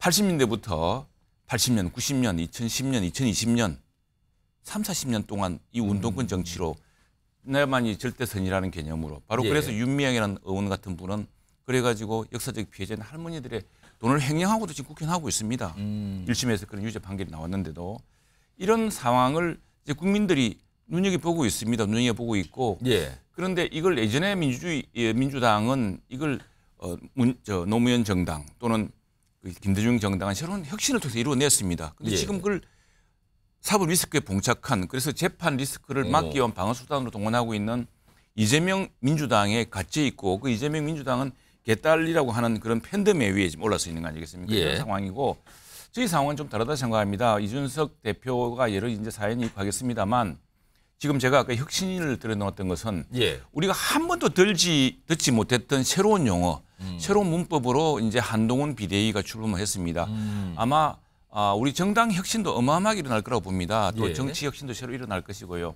혁신하지 않고는 우리가 다시 이제 어, 이 여당을 내년 총선에서 성, 이- 이번 총선에서 승리시킬 수가 없고 또 그것이 국민의 간절한 바람이기 때문에 그렇습니다. 오늘 대통령 신년사에서 어, 별로 주목받지 못했는데 눈여겨보지 않은 것 중에 하나가 뭐냐면 예. 따뜻한 정부입니다. 그리고 문제 해결 정부입니다. 우리는 지금 어, 386, 486, 586의 운동권 문- 문제 그리고 개딸 전체주의 문제를 지적했지만 예. 계속 앞서 나갈 겁니다. 계속 오. 새로운 개념, 새로운 아주 그 정치한 접근으로 새로운 해법을 음. 찾아낼 겁니다. 예, 그렇기 때문에 이 혁신을 통해서 저희 한동훈 비대위의 혁신을 통해서 또 공천 혁신을 통해서 공천은 그 룰과 음. 또 국민들과 우리 유권자들의 판단에 따라서 예. 꼭 필요한 정치를 할 수 있는 사람들을 통해서 음. 어, 새로운 혁신을 이뤄낼 것이고 그런 의미에서 어, 이제 뭐 이준석 대표는 이준석 대표 스스로가 만든 신당을 통해서 음. 국민적 지지를 확보해야겠습니다만 어, 저희는 상당히 많은 부분을 한동훈 비도의 혁신, 새로운 접근을 예. 통해서 어, 지금 국민들의 신뢰를 다시 회복할 거로 믿고 있습니다. 지금 최영도 의원님하고 이해식 의원님 신당 관해서 제가 말씀을 각각 들어봤는데 분위기가 딱 그렇게 명확한 말씀을 안 하셨지만 그쪽 신당이 더 잘 될 것 같은데요. 우리 쪽에서 나가는 분들보다 약간 이 분위기로 말씀을 했어요. 요거 마지막으로 정진환 교수님. 이낙연 신당과 이준석 신당 어느 쪽이 좀 더 신당으로서의 약간의 역할 또는 성공 이 가능성 어디가 더 높다고 보십니까? 그 뭐 도끼인 개끼인 것 같아요. 아, 도끼인 개끼죠. 그 예. 어떤 신당 창당의 명분 또 이것이 그냥 단순한 의미로 반윤 반명만으로 어, 국민들을 과연 설득해낼 수 있을 것인지 어. 우리 국민들이 선거가 다가오면 다가올수록 또 거대 양당 어떤 체제로 수렴되는 양상도 있거든요. 음. 그런 전반적인 상황을 본다면 지금 다- 어, 지금 시점에서 신당의 어떤 파장에 대해서 좀 이렇게 한마디로 정리하기 좀 어렵다. 음. 자, 그러나 어, 지금 현재 양대 정당에 속해 있는 두 분께서도 지금 일, 일정 부분 그런 말씀하셨습니다만 이게 단순히 신당의 의미를 찻잔 속 태풍이라든지 좀 예. 겸하하는 의도를 내비치는 측면도 좀 있어 보이시거든요. 오. 저는 근데 그럼에도 불구하고 좀 전에 우리가 정당 지지율과 그 이게 그 실제 어, 히- 현장의 투표가 어떻게 나타날 거냐 예. 이걸 가지고 우리 배정천 소장이 잘 설명했습니다만 여전히 15%에서 한 20%에 달하는 어. 이른바 아직 결심하지 못한 아. 층이 있거든요. 그 층에게는 여전히 신당에 대한 어떤 가능성을 충분히 갖게 할 수 있는 층이라고 볼 수 있다. 예. 자, 만약에 지금 신당이 나름대로 가치와 비전, 예. 정책으로 승부하려고 할때 예. 그 아직 결심하지 못한 유권자층이 음. 상당한 반향을 거기에 힘을 보태줄 가능성이 커 보인다. 음. 자 그렇다면 지금 현재 보여지고 있는 이낙연 신당의 경우에는 어, 정말로 일단 이낙연 신당이 가지고 있는 창당의 명분이 무엇인지가 분명치가 않다. 음. 국민들에게 비칠 때는 민주당의 분열 예. 그 이상에서 아직은 나아가고 있지 못하다. 어. 그런 측면에서 본다면 이준석 신당에 비해서 이낙연 신당은 그런 면에서 앞으로 현역 의원들의 어떤 합류라든지 예. 여러 가지 어떤 또 힘을 보태려고 하겠지만 우선 당장 왜 창당할 수밖에 없는지에 대한 예. 국민적 명분을 분명히 하는 게 좀 우선해야 될 것 같다. 음. 두 번째는 저는 이 신당이 지금 이준석 신당, 이낙연 신당 이렇게 나눠져 있지만 예. 신당 또한 아까 얘기했던 15%에서 20%라는 유권자의 마음을 하나로 담아내려면 예. 이낙연 신당, 이준석 신당이 아니라 진정한 의미의 제3정당 실현이라고 하는 측면에서 오. 소위 이른바 신당의 빅텐트를 친다라든지 예. 하는 그런 정도의 발상이 없이는 어. 나름대로 의미 있는 세력으로 작동하기는 어려워 보입니다. 자, 지금 말씀 끝에 제3지대 정당이 뭔가를 같이 한다. 이 정치권에서 흔히 쓰는 이거 텐트 표현 있죠. 빅 텐트. 텐트가 크면 다 모일 수가 있잖아요. 다 비도 막을 수 있고. 그 빅 텐트라는 표현을 쓰는데 이와 관련해서 오늘 이윤석 전 대표가 얘기를 하나 내놨습니다. 들어보겠습니다. 이낙연 총리와 저는 살아온 궤적과 그리고 지금까지 가져왔던 지향점이 어, 어떤지를 아직까지 서로 나누어 보지 못했습니다. 다만 제게 있어가지고 이낙연 어, 총리라는 분은 저와 다른 점이 있기 때문에 그리고 저와 또 성품이 다른 분이기 때문에 어, 상당히 상호 보완적 결합을 할 수 있는 대상이다라는 기대감은 가지고 있습니다. 예. 조혁진 변호사, 이준석 전 대표의 평가로는 이낙연 전 대표와 본인이 사후 보완적이다. 그. 신당들이. 그러면 손잡을 가능성이 있다는 것 같은데 그 가능성 어떻게 보세요? 하늘에 태양이 예. 하나만 있어야지 두 개, 세 개 있으면 그게 되겠습니까? 두 분이 각각 스스로 태양이라고 생각하신다는 겁니까? 아니 빅텐트를 갖다 딱 쳤을 때 예. 거기 대장이 누굽니까? 오. 이낙연 전 대표니까 아니면 이준석 전 대표입니까? 누굽니까? 두 사람 다 전 대표예요. 그러니까 어. 내가 대표를 갖다가 하고 싶지 내가 고개를 숙이고 들어가 가지고 거기서 뭘 하겠다? 그 상석에는 그 빅텐트 상석에 누가 앉는가? 그 다음에 제일 중요한 건 뭐냐면요. 예. 결국은 내년에 배지를 달기 위- 올해 예. 그 국회의원에 당선되기 위해서 공천권이나 여러 가지 것들을 행사해야 되는데 예. 그걸 누가 행사할 것인가. 음. 그다음에 이준석 전 대표 같은 경우에는 무조건 국회의원 되고 싶잖아요. 그러면은 그런 것들과 관련해서 과연 이낙연 전 대표가 보장을 해줄 수 있는 것인가. 그다음에 제일 중요한 건 뭐냐면요. 예. 정당이라고 하는 것은 정치적인 이념을 공유해야 되잖아요. 예. 아무리 상황이 급하다고 해도 민주당의 전 대표와 국민의힘 전 대표가 같이 모여가지고 하나의 빅텐트를 갖다가 설정하는 것은 음. 그거는 상정하기가 쉽지 않을 것 같다는 게 제 개인적인 판단입니다. 영찬 소장님, 그러니까 이낙연, 이준석 두 정치인이 손잡을 가능성 전혀 없다고 보십니까? 전혀 없다 이렇게 사회과학에서 물어보면 없다고 없을 쪽이라고 없는 쪽이라고 보십니까? 그러니까 두 사람은 합해질 수가 있어요. 그러니까 제가 항상 뭐 합당이나 또는 연대나 이런 이야기를 할때 예. 설명을 드릴 때 뭐냐면 사람은 합해질 수 있습니다. 근데 그들의 뒤에는 그들의 옆에는 그들의 앞에는 누가 있습니까? 지지층이 있거든요. 음. 지지층이 안, 해- 안 합해져요. 왜냐면 여러 가지 녹여 넣어야 될 내용들이 많기 때문에 예. 지지층까지 결합이 되려면 두 사람의 어, 케미가 완전히 접착이 돼야 되거든요. 아. 이게 접착 정도가 아니라 심할 정도 협착 예. 이 정도 돼야 되는데 예. 그렇게 끈끈하게 만들어내기는 짧은 시간에 쉽지가 않습니다. 정말 두 사람이 완전 밀착 예. 쌍둥이처럼 예. 그 정도로 가면 지지층들이 겨우겨우 어. 흡수에 선며 들어갈 수가 있는데 그러니까 문제는 뭐냐면 두 사람은 합해질 수 있다. 하지만 지지층들은 합해지기가 어렵다. 아. 지금요. 100일 남은 총선 관련해서 총선 때까지 과연 어떤 변수들이 민심에 영향을 줄까? 민심을 흔들 수 있을까? 이걸 얘기하거든요. 지금 신당 얘기까지 해봤는데 지금 사실은 여야 거대 정당들이 각각 눈앞에 과제가 있습니다. 큰 과제라고 할 수 있는데 각각 갖고 있어요, 지금. 우선 여당이 만난 과제부터 좀 짚어보겠는데 이와 관련해서 오늘 한동훈 비대위원장이 질문을 받고 얘기를 좀 꺼내놓죠. 여기에 어떤 과제가 좀 담겨 있습니다. 들어보시죠. 어, 이 도이치 특검 역시 제가 여러 차례 왜 그게 그 총선용 합법인지 설명을 드렸습니다. 그 그런 법을 어, 통과시키고 그런 법을 어, 그런 법을만 가지고 총선을 치르는 것은 국민의 눈과 귀를 가리는 것입니다. 저는 그것 그것에 동의하지 않습니다. 아, 여기서 표현을 도이치 특검이라 그랬어요? 보통 언론에서도 그렇고 정치권에서 김건희 여사 특검법 이렇게 쓰는데 여기는 한동훈 비대위원장은 도이치 특검법, 도이치 특검 이 표현을 썼거든요. 자 그리고 신년사에서 이와 관련된 걸로 보이는 대목도 있었는데요. 보겠습니다. 이런 내용이 있어요. 자 앞으로 여당은 계산하고 몸살이지 않겠다. 국민의 비판을 경청하며 즉시 반응하고 바꿔나겠다. 저희가 더 잘하겠습니다. 계산 안 하겠습니다. 즉각 반응하겠습니다. 경청합니다. 그렇다면 뭔가를 결단할 수도 있다 이런 얘기로 들리기도 하거든요. 저 대목은. 어, 이거 최영두 의원님께 김건희 여사 특검법이 아니라 굳이 도이치 특검이라고 표현을 썼거든요. 이건 어떤 이유가 있을까요? 이 도이치모터스 특검법이라는 게 특검법 이름입니다 이게. 근데 통상 지금까지는 예, 예. 김건희 여사 특검법, 김건희 특검법 이렇게 썼거든요. 네네. 이게 사실은 도이치모터 특검, 도이치모터스 주가 조작 사건이라는 것은 10여 년이 쭉 지나온 사건이고 예. 계속 검찰이 수사하고 있고 어, 지금 뭐 1심 재판에서 거의 결과가 윤곽이 다 드러난 사건이죠. 음. 근데 이게 사실은 그래서 저는 이제 이 두 가지 아니겠습니까? 지금 뭐 우리 저 한동훈 비대위 우리 당으로 보자면은 이 도이치모터스 특검 이 문제를 이제 어떻게 할 것인가 예. 대한 국민 여론은 어떻게 할 것인가 문제가 있고 또 민주당의 경우는 이재명 대표의 재판 문제가 예, 그렇습니다. 뭐 똑같이 지금 스스로에게 난제가 될 텐데 어, 이 문제 이재명 대표의 재판 문제는 그럼 피할 수가 없죠. 그는 사법적인 판단과 예, 그- 진실의 그거는 좀 문제이기 때문에. 뒤에 준비가 그렇죠. 돼 있습니다. 그러나 도이치 예. 특검 이 문제는요. 이건 진실을 밝히면은 예. 어, 국민들에게 상당 부분 이게 좀 굉장히 과장되고 사실무근 부분이 많습니다. 음. 지금 뭐 새롭게 뭐 이야기 된다는 부분이 이게 저 1심 재판에서 예.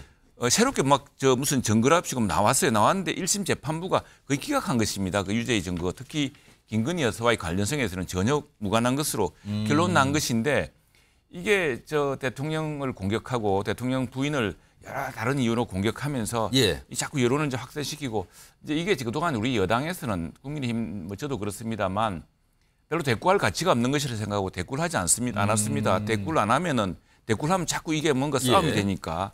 근데 이제 이게 특검법이 통과된 마당이기 때문에 이제 국회 제의 길이 있게 되겠죠. 예. 저희들이 이 진실을 또 이야기할 겁니다. 그리고 진실을 하면서 국민들이 새롭게 깨닫게 될 테고 아까 왜 이재명 재판과 다른 문제냐면 이재명 대표 재판은 진실이 밝혀져 있, 진실을 통한 사법적 판단이 남아 있는 문제이고 재판부의 예. 판단이 남아 있는 문제이고 이것은 국민들에게 이 도이치 특검의 내용이 무엇이 문제인지 음. 실제로 거기서 제기한 의혹의 진실이 무엇인지를 예. 어, 낱낱이 국민들에게 설명하게 될 것이기 때문에 예. 저희들이 국민들에게 어, 이러함에도 불구하고 민주당 이걸 이, 이용하는 이유는 어, 선거 때 이 문제를 가지고서 이미 사실이 아닌 것으로 드러났거나 굉장히 과장된 허위 조작인 예. 내용을 가지고서 국민들을 호도하고 대통령을 공격하고 대통령 가족을 공격하는 것은 부당하다. 특히 특검법도 예. 이전에 최수질 특검이라든가 또는 드루킹 특검 모두 여야 합의로 해서 특검 절차를 정한 겁니다. 예. 이거는 이번에 민주당이 민주당과 야당이 단독으로 진행된 것이기 때문에 음. 그 특검의 어, 정의 또 특별 권력 관계에 예. 것을 수사해야 되는데 이건 대통령 부인과 대통령과 결혼하기 훨씬 전에 예, 예. 있었던 갈 그것도 지난 12년 동안 수차례 수사하고 조사되었지만 예, 예. 새로운 사실이 없는 걸 가지고 한다는 오. 것은 다분히 정치적이고 이게 대해서는 국민들에게 이제 이해를 구하고 국민들이 그 진실과 내막을 알겠습니다. 알도록 하겠다는 것이 입장입니다. 최영준 제가 짧게 추가 질문 드리면 네. 한동훈 비대위원장이 이제 도이치 특검이라는 표현을 네, 썼거든요. 네, 네. 근데 이게 혹시 지금 이 특 검의 수사 대상에 대해서 민주당에서는 아 이거는 뭐 넓어질 수도 있다는 얘기를 꺼내놨단 말이에요. 혹시 수사 대상이 확대되는 거를 약간 견지하거나 이걸 의식해서 도이치 특검이라고 쓴 건 아닙니까?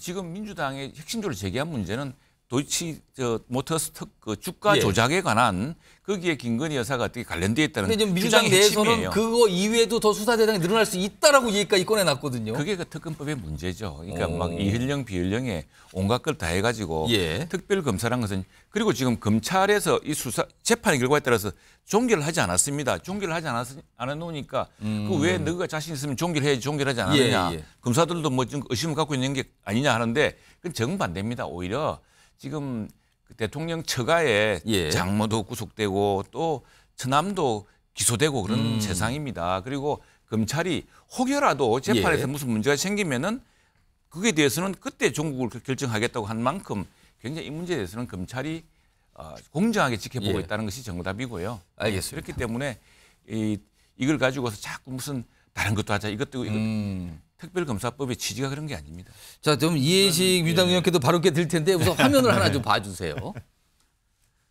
지금 이런 얘기가 이 연휴 동안 계속 나왔는데 오늘은 3일에 신년회가 있거든요. 윤석열 대통령이 주재하는 신년회인데 이제 이재명 대표가 즉- 그 당시에 이 신년회가 나왔을 때 즉각 참석하겠다고 수락을 했거든요. 근데 이 연휴 동안에 아 이거 10년회 참석 이거 다시 한번 생각해 봐야 되는 거 아닙니까? 라는 얘기가 민주당 안에서 나왔거든요. 그러니까 이게 혹시 지금 대통령실에서 이 특검법에 대해서 거부권을 행사하겠다고 밝힌 사항인데 이거에 대해서 약간 항의 또는 불만을 갖고 있어서 신년회를 참석하지 않겠다 이걸 검토하는 게 아니라는 얘기가 나오는데 이거 어떻게 봐야 됩니까? 이런 야- 이런 움직임이 있습니까? 당연히 신년회 참석도 거부를 고려해야 될 만큼 어. 심각한 사안이기 때문에 그런 것이죠. 최영두 의원님께서 말씀을 하셨는데 참 그 제가 예. 반론을 하지 않을 수가 없습니다. 예, 예. 아까 도이치 모터스 특검법이라고 말씀을 하셨는데 그게 이름이다 그러셨는데 예. 이름은 김건희 특검법이죠. 음. 대통령 배우자 김건희의 도이치 모터스 주가 조작에 관련된 진상 조사를 위한 특검법. 뭐 그렇게 그게 정식 명칭입니다. 아. 그래서 김건희 특검법이라고 정확하게 불러야죠. 오. 한동훈 비대위원장이 물타기를 하는 것이죠. 아. 본질을 흐리려고 하는 것이죠. 얄팍한 꼼수거든요. 음. 저는 한동훈 비대위원장이 아까 뭐라고 말씀을 그 하셨냐면 예. 어, 그냥 뭐 선의에 의해서 제가 여기 총선용 악법 그리고 법을 가지고 총선을 치르는 것은 국민의 눈과 귀를 가리는 것이다. 이런 아니요, 얘기를 아니요. 했어요. 계산하지 않겠다. 아, 몸살이지 않겠다. 신년사에서 아, 계산하지 않겠다. 몸살이지 않겠다 말씀을 하셨는데 예, 예. 저는 아, 이거- 도이치 특검이라고 아. 말씀하시는 걸 보고 예. 아 계산하는구나. 몸을 사리는구나. 저는 그렇게 봤습니다. 음. 정확하게 정확하게 불러야죠. 음. 그리고 정확하게 2010년부터 2012년까지 거의 1,300일에 걸쳐 가지고 예. 주가 조작과 관련된 그 일, 일수입니다. 검찰이 단 한 번도 음. 소환 조사를 하지 않았습니다. 어. 단한 번도. 압수수색하고 뭐 불러서 조사하고 그래야 되지 않습니까? 어. 그리고 관련자들이 공범들이 다 기소되고 유죄받고 그리고 지금 재판을 하고 있는 항소심을 하고 있습니다. 항소심을 하고 있는 그런 와중인데도 한 번도 소환 조사가 없었고 그리고 재판 과정에서 김건희 여사의 계좌가 주가 조작, 통정 매매, 거래에 이용됐다라고 하는 것이 드러났습니다. 음. 이걸 가지고 지난 작년 9월부터 특검하자고 주장을 했고 그때 국민의힘이 받고 특검을 이렇게 그때 했으면 예. 끝났을 일입니다. 어. 근데 계속 미루다가 올해 4월에 들어와 가지고 정의당이 발의한 것 가지고 지금 패스트트랙에 올린 거 아닙니까? 예. 패스트트랙 올리고 난 이후에도 얼마든지 기회가 있었습니다. 얼마든지 예. 협상 협의를 해가지고 특검법을 조정을 할 수도 있었고 또 정치적 결단을 통해 가지고 받을 수도 있었습니다. 그런데 그것을 정교하게 뭐 총선을 위해서 고려된 악법이라고 얘기하는 것 자체가 저는 예. 정말 어불성설입니다. 알겠습니다. 그리고요. 아유, 예, 예. 그리고 아까 그 저 이 특검법과 관련해서 한동훈 장 한동훈 비대위원장을 저는 국민의힘과 윤석열 대통령이 예. 좀 보호한다 이렇게 생각하거든요. 왜냐하면은 사실은 어, 비대위원장 취임 이후에 첫 번째 중요한 결정을 예. 어, 비대위원장이 그 특검법 처리를 어떻게 할 것인가에 대해서 결정을 했어야 되는데 음. 대통령실이 먼저 그냥 선수를 쳤죠. 그리고 최근에 그 어, 윤석열 대통령 검찰총장 시절에 그 징계 예. 예산안에 대한 항소심 판결이 나오지 않았습니까? 음. 법무부가 패소했는데 예. 한동훈 비대위원장이 대- 에, 법무부 장관을 그만두니까 아. 법무부에서 상고를 포기했습니다. 대법원에 안 간다는 거죠. 네. 예, 예. 그것도 보면은 정부 윤석열 정부와 여, 여당이 정교하게 한동훈 장관을 보호하면서 음. 한동훈 장관의 부담을 줄여주고 그러면서 뭐라 그럴까요? 이런 총선 전에 예. 이재명 대표와 이런 대권 주자 간의 대결로 몰아가려고 하는 그런 정치적인 의도가 있다 이렇게 설명드릴 수 있습니다. 지금 제가 아까 이 주제 다룰 때 여야가 지금 각각 만난 눈앞에 갖고 있는 난제들이 있다 그랬잖아요. 지금 여당의 난제를 좀 다뤄봤고요. 다음은 야당 눈앞에 놓인 난제인데요. 화면 좀 보시죠. 이른바 이재명 대표 관련된 아까 재판 뭐 이런 표현들 나왔잖아요. 변수가 될 거라고 이겁니다. 지금 이재명 대표 재판 진행 상황은 저기 보시면 대장동, 위례, 백현동, 성남 FC 건 지금 매주 재판 진행 중이에요. 그러니까 법원에 자주 가야 되는 상황. 그리고요 지금 선거법 관련 재판도 있는데 격주로 열리고 있어요. 그런데 이게 가장 빠르게 진행되지 않을까라는 얘기가 나오고 있고요. 그리고 위증교 사건이 있거든요. 요것도 상대적으로 단순해서 요 선거법 위반이나 위증교사가 총선 전에 1심 선고가 가능하지 않을까. 1심 결과가 나올 수도 있는 거 아니냐는 얘기가 나오거든요. 조혁신 변호사. 네네. 1심 전에 선고 나올 수 있는 건 저렇게 좀 얘기가 나오는데 맞습니까? 저렇게 전망할 수 있습니까? 그 재판부 의지만 있으면 충분히 선고가 나올 수 있죠. 지난주하고 이번 주는요. 예. 법원의 휴정기예요. 연말 예. 연시니까. 그러니까 이번 주까지는 재판이 없는데 당장 다음 주부터 이재명 대표 재판이 예. 일주일에 세 번이에요. 어. 1월 8일에 위증교사 이제 시작이 되고요. 예. 그다음 이제 대장동 9일 12일에 또 대장동 있고 그다음에 그다음 주에는 또 그 공직선거법 위반죄가 있고 음. 그다음에 중요한 거는 제가 제- 저도 재판이라고 이제 그 썼는데 이게 이재명 대표의 재판만 있는 게 아니고요. 예. 1월 31일에는 이제 판결 선고가 나온다고요. 오. 이재명 대표의 재판은 그냥 공판일 뿐인데 예. 판결 선고가 이제 1월부터 우르르 나오기 시작하는 게 1월 31일에 예. 누구 판결 나오냐 윤관석 판결 나오고요. 아. 그다음에 2월 8일엔 누구 판결 나오느냐 조국 판결 나오고요. 장관. 2월 13일엔 누구 판결 나오냐 백현동 관련해서 김인석 판결 나와요. 아. 그러다가 그 와중에 이제 3월이나 4월 초까지 만약에 위증교사 같은 경우는 그 관련된 김모 씨하고 다 자백을 했기 때문에 더 이상 볼 것도 없는 사건 아닌가 저는 그런 생각 들거든요. 음. 그러니까 재판부 의지만 있으면은 예. 충분히 4월 전에도 판결이 나올 수가 있는데 뭐 그건 그렇다고 치고 일단 판결 선고가 예정되어 있는 중요한 사건만 음. 1월, 2월 중에 제가 파악한 것만 세 개인데 예. 이런 것들이 다 이재명 대표와 민주당 쪽에 결국 화살이 돼서 부메랑이 돼서 돌아올 것이 아닌가 저는 그렇게 생각이 됩니다. 그러니까 총선을 앞두고 1심 결과가 몇 가지가 나오게 되면 이게 과연 여론에 어떤 영향을 줄까? 뭐 이런 거예요, 지금. 이게 눈앞에 놓인 이제 민주당의 과제를 수 있는데 자, 이런 사안과 관련해서요. 이재명 대표 그동안 질문 받고 여러 가지 얘기도 꺼내놓고 얘기를 또안 꺼내는 경우도 있었거든요. 이와 관련된 영상도 묶여 있는 게 몇 가지 있는데 들어보시죠.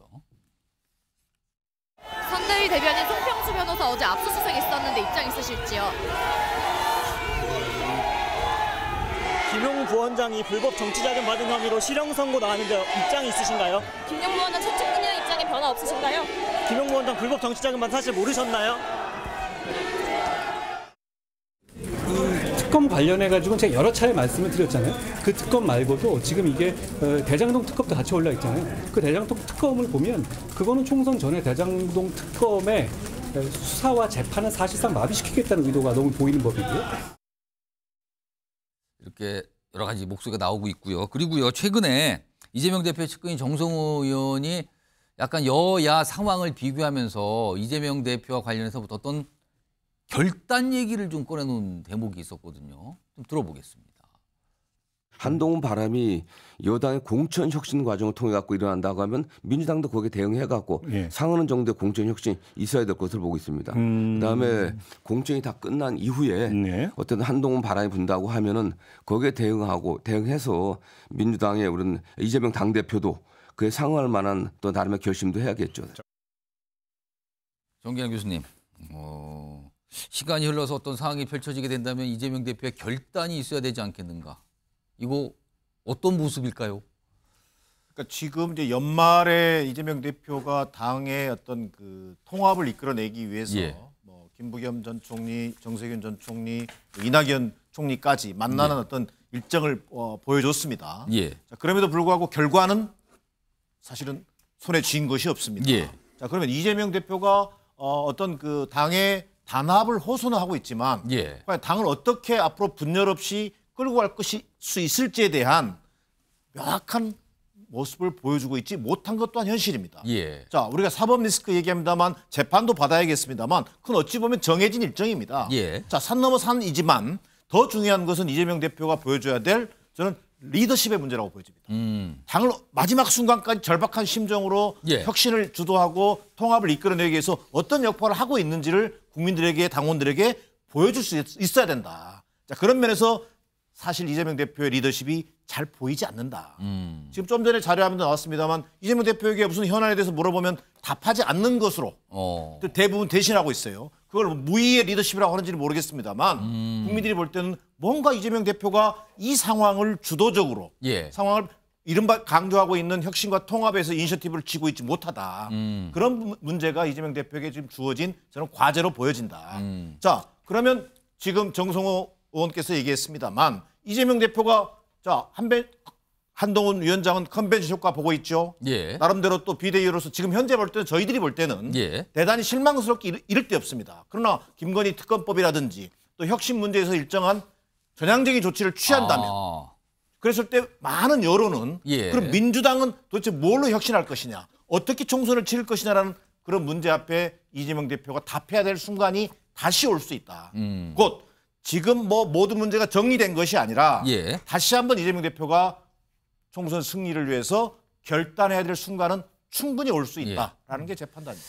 자, 지금까지 100일 남은 총선 관련해서 변수를 아주 조목조목 전해드렸고요. 그 총선을 이끌게 될 여당의 비대위원장 그리고 야당의 대표기까지 자세히 전해드렸는데요.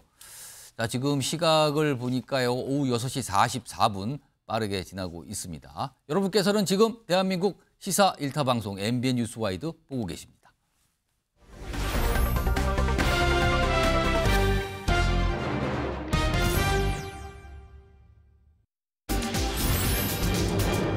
자, 제목이 바로 나왔어요. 새해 첫날부터 김주애 띄우기, 김주애 북한 얘기군요. 우리를 항상 걱정시키는 존재, 지금 북쪽에 있죠? 또 이상한 얘기를 좀 꺼내놨어요. 근데 그에 앞서서 오늘이 1월 1일이면 북한의 노동신문, 노동신문 있죠. 거긴 사실 북한 정권의 얘기가 잔뜩 담기는 그런 신문인데 여기에 일면에 김주애가 등장을 했습니다. 화면 좀 보겠습니다.